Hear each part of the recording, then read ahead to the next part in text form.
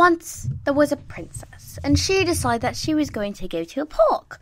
So she walked into this very tall building and looked up. Look how tall it is! Oh my goodness! And she walked across some rocks and she looked at the fish.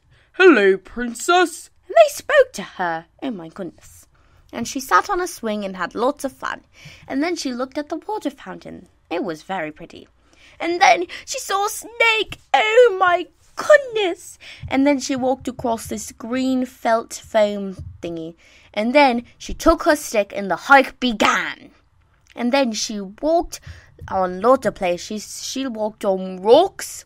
And then she walked on rocks on water.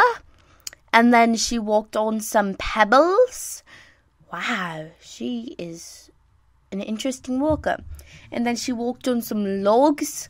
And then she walked through flowers and then she walked with her father standing in the background, and then she walked over some more logs. It was a long day of walking. And then the fun and games were over, and she put her stick back. The end.